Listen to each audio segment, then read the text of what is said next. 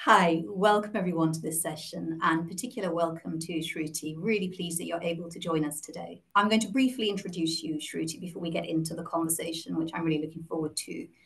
So Shruti is a professor of, uh, the professor of history and politics here at Cambridge, and her work focuses on modern and contemporary India and global political thought. She's also co-director of the Global Humanities Initiative here at Cambridge, and in that capacity works with seven universities in the Global South, with a focus there on the creation of new, new curriculum, new capabilities.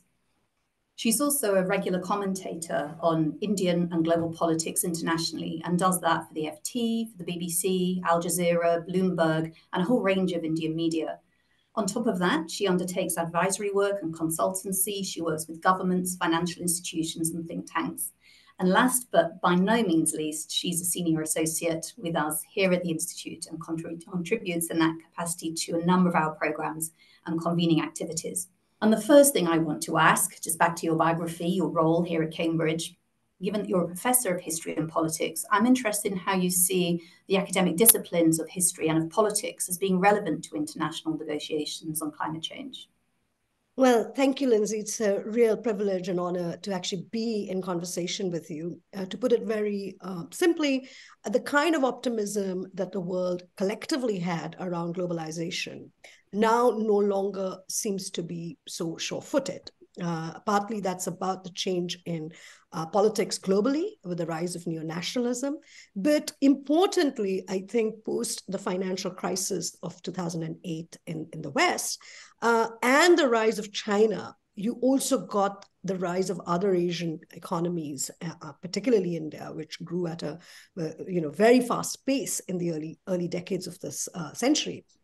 And all of this to say that these countries now uh, have acquired a greater say uh, uh, in in those global negotiations. You saw a version of that actually in Paris, when particularly the Indian uh, uh, Indian delegation had succeeded in speaking about climate justice. And I think economy is central to it because energy consumption and so on is very high now in places like China and India. You can't ask those countries and with billions of people under, living there uh, to say that they cannot, they do not have a right for, to prosperity uh, or to, to development. Finally, to just say that in terms of um, my dual kind of disciplinary anchoring in history and politics, uh, what is also clear is to me, particularly because I work in the realm of ideas, uh, among other things, is that there is a very sophisticated set of ideas, policies, and indeed politics in places like India around environmentalism, and uh, and capabilities. So that's the first thing i can bring to the table here is that these societies and these poli- these these polities have a very long uh, history uh, around the environment and human negotiation of the environment. Uh, and i think we need to kind of start attending to that a little bit so a whole range of dimensions that we really need yeah. to think about and consider that perhaps we uh, have become more prominent or more significant than in the mm-hmm. past. We've been underserved in, in terms of the, the level of attention mm-hmm. um, that they've had. But I'm keen to unpack that a little more and understand what that might mean for those of us who are working in support of progress.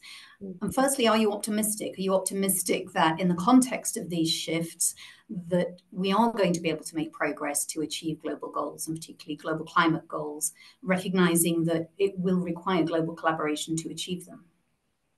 Uh, that's a really hard question. The optimism lies, and the, the challenge also lies in how we are able to craft new new discussions, in, you know, incubate new ideas, which are actually also pragmatic uh, which can also, you know, be be you know operationalized, scaled up. Eh, you know, it's in the air that most of the countries are a quite uh, introverted in their own politics and when they are externally relating to each other there's a fair amount of conflict and uh, there's a fair amount of lack of understanding if i if i can put it like that so um, you know to not sort of beat around the bush uh, the question around sort of you know at the one level is are we living in a so-called new bipolarity is there an american so-called western liberal international way of doing things and is there another way, which is either called multipolarity or it's called the China led world, or you can say uh, uh, another world which is sort of global south oriented, the ex colonized countries which are rising powers with China at the other end. So, are we looking at a bipolarity, a multipolarity? All these discussions and a kind of very competitive economic sphere. It is producing this paradox that where we are more in dialogue with each other, uh, but perhaps there is more also friction, conflict, and also you know we're not being able to understand. So i think the challenge is going to be to create a, a certain set of like um, minimal goals things that are very contextually specific. For instance in a in in coming from india the question of uh, climate change is now we can unpack it a little bit more, is increasingly going to have to be tied up with questions of not just economic development, of which we know a fair bit, but also to food security and changes in the agrarian pattern. And that's a phenomenon that is also common to say other African contexts and and indeed Latin America. I mean, it is interesting that with the with you know you've had a kind of slightly positive change, a leading voice in say Brazil. Uh, the Brazilian leadership has come in favor of, you know, uh, the protection of its environment as a key issue. So I think the mistake, the fundamental mistake, really, I think, without being too critical of the preceding discussions in global discussions, the mistake has been made that somehow these global goals, uh, whether you know whether they are developmental goals or environmental goals, can be set up uh, from the West and can somehow just be implemented uh, elsewhere.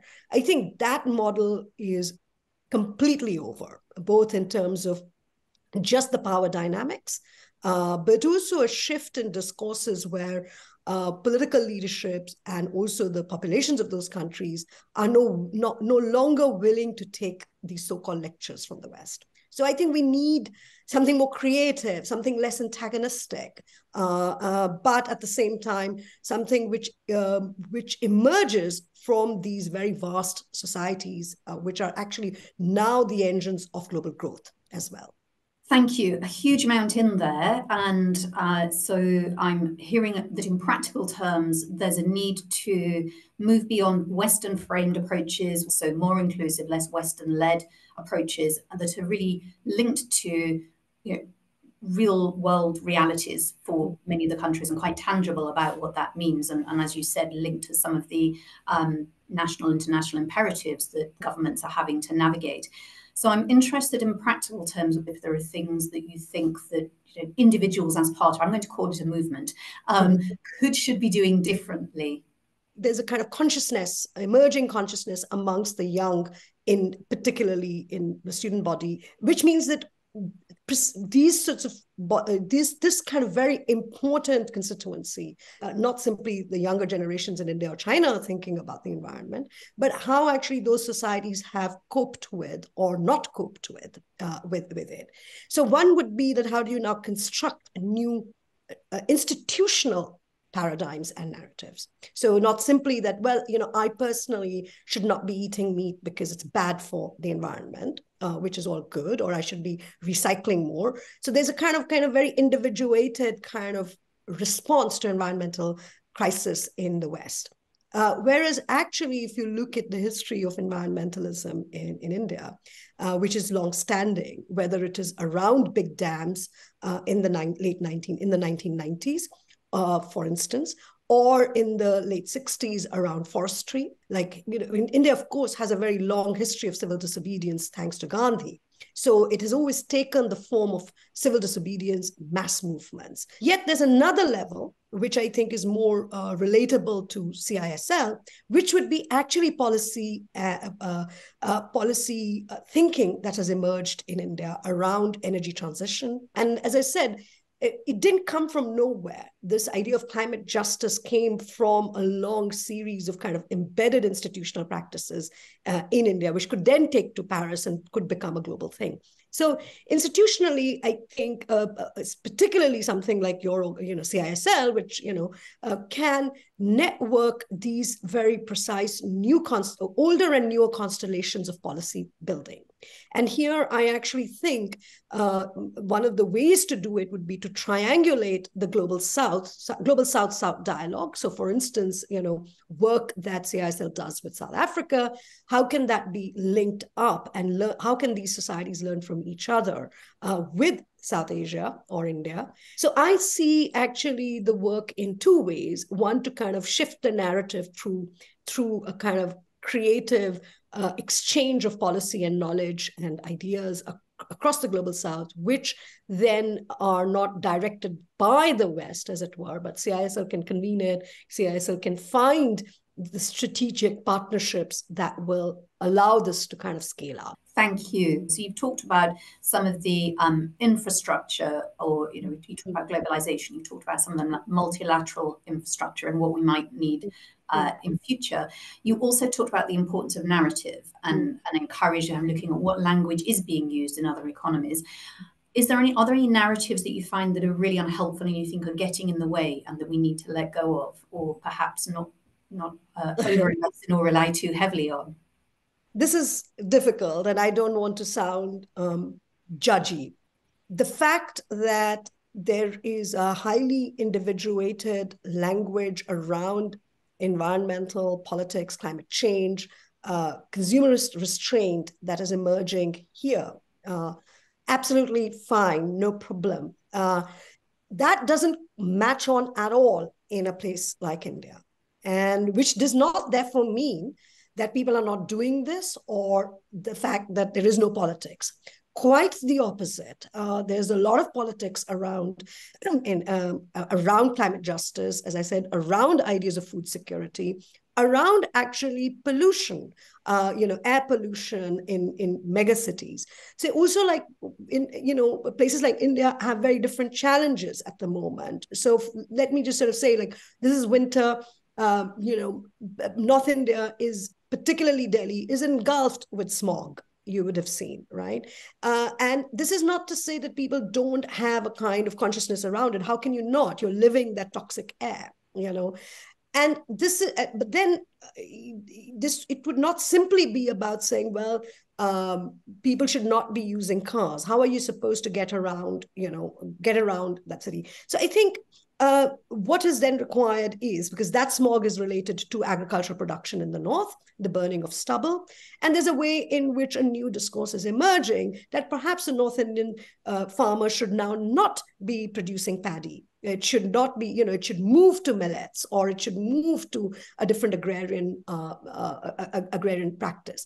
So those things are emerging from those countries itself and and Plus, there's a real issue of scale, and which I think you know we're not quite sensitive to in terms of the scale of the problem or the scale of the challenge uh, uh, itself. And I think uh, the purist, Puritanism would have to go uh, in terms of making simply climate as the ultimate thing but act, or climate emergency, but actually to see how these three or four, five things are competing with each other and producing a new set of policies. And we are seeing that in India. You're seeing the emergence, opening of coal mines, uh, some, not many, but but you're also seeing this huge investment, uh, eye-watering amount of investment in solar energy. In terms of air pollution, I mean, I've always been struck how recent it was that London was had very dirty air. I mean, it's still not perfect. So, what could places like London uh, provide in terms of pol- policy expertise? Uh, how is it that a political consensus was arrived at uh, in Britain? So, I think those sorts of conversations would be very, I think, helpful and interesting, uh, and I would say impactful. Absolutely. And specifically on that point, we've had a, a number of uh, government, municipality um, delegations of leaders from um, a number of countries in, in Asia, particularly Southeast Asia, come to us for what they've called London Smog programs. How yes. can they learn from what it took mm. to achieve that cleaning up mm. of the air? Admittedly, a huge amount, still more to be done, and not a thing that we've by any means cracked.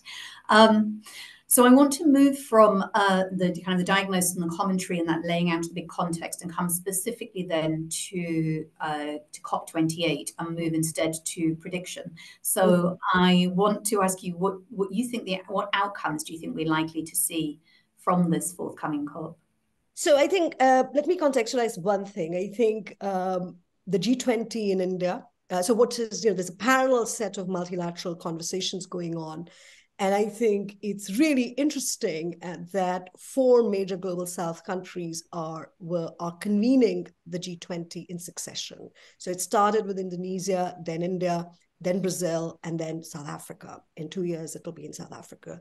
So there's a way in which that dialogue is getting um, it's getting a kind of institutional structure, but it's also getting a momentum. And uh, where these countries have like really uh, set the tone uh, for for negotiation, that this cannot simply be about Europe, or it cannot simply be about you know moving national, as it were, carbon one country to another or jurisdictions that you know I mean, the, the challenge around net zero, for instance, A, that it has occupied a very central uh, place in the discussions uh, of, of COP.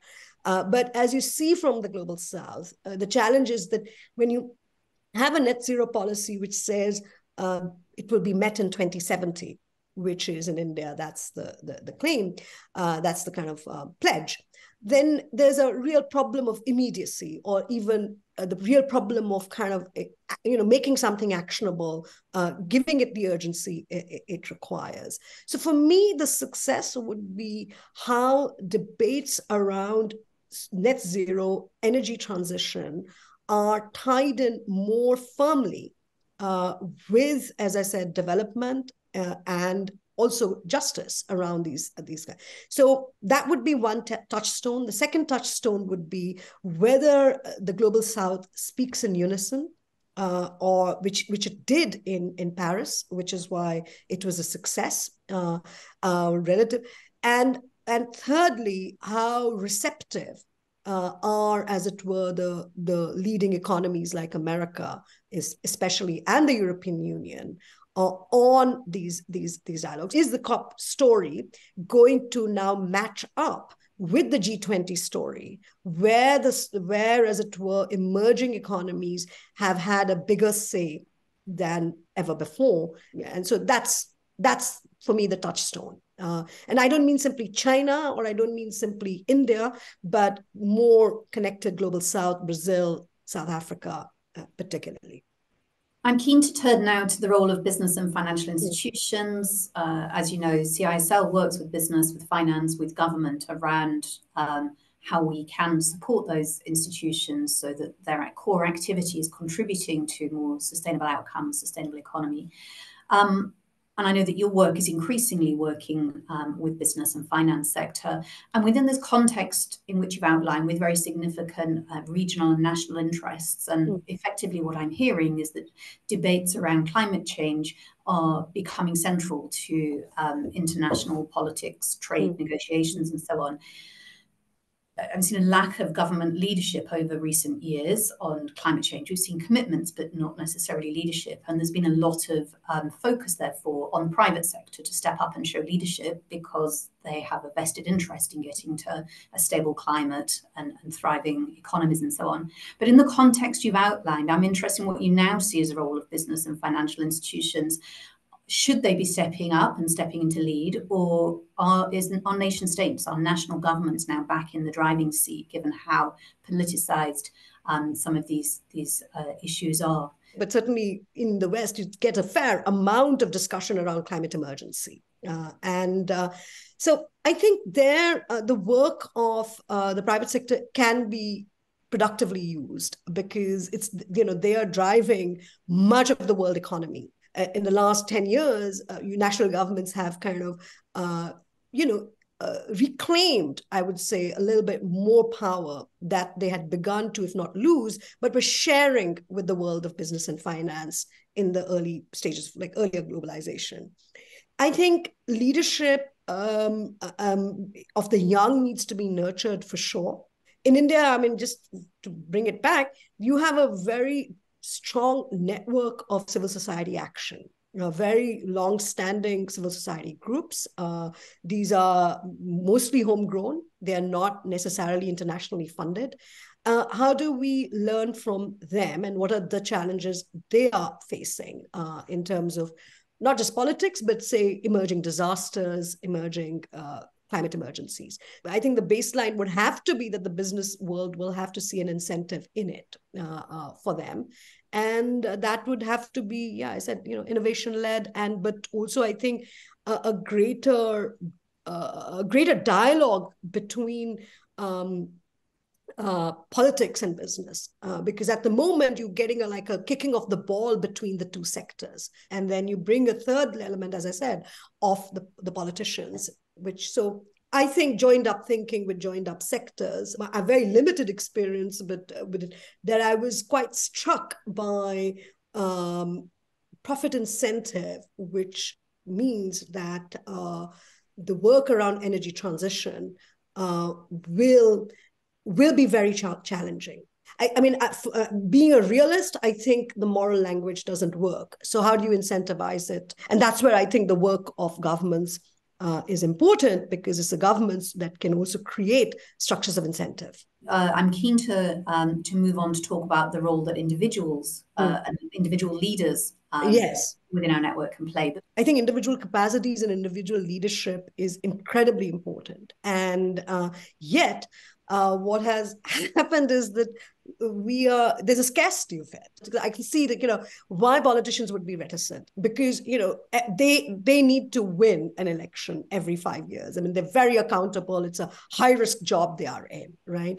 Um, is there any way in which we can begin to convince individual leaders who do not need to kind of work with such tight high risk stakes and then they can be networked with political leaders. I do think it's a matter of time framing of net zero to 2070 means that the immediacy is lost. Uh, the, the, the same problem is the opposite for politicians because they're in an immediate political cycle. They are not able to think of the midterm. And I think universities which have this you know unique position to think about the immediate and the long term can start bridging this gap between something which is so future oriented and something which is more immediate. And I therefore do think individual leaders, but institutions like CISL, incredibly important. I mean, you know, India's had major environmental leaders uh, in the past, and I can think of them, some very inspiring women, some very inspiring older men. Some of them are now no longer alive. But, you know, uh, I don't see comparable I don't see a comparable political, a, a, comparable leadership emerging. And what is it that we can do to generate, engender it? I think. Thank you. So you've talked about, um, given some examples of youth leadership. You've talked about the context within le- in which leaders are operating, that some of the constraining or enabling conditions, and and uh, tyranny of having to to you know win votes on a regular electoral cycle, um, being somewhat challenging there. And talked about a particular, I suppose, capability, the ability to both to mm. to be able to, I suppose, ride two horses at once. That succeed in the short term, but be navigating to the long term as a, as a thing that effective leaders may need to do. Uh, given that we're a leadership institute and, and all of our work is in some way working to inspire, support, enable leaders, I'm interested in whether you think there are any um, other examples of capabilities or, or insights that, that leaders um, should be nurturing you know, themselves within their teams, within their sphere of influence, um, to add to that sense of you know balancing, managing both the short term and long term. Is there anything else that you'd encourage leaders to be nurturing?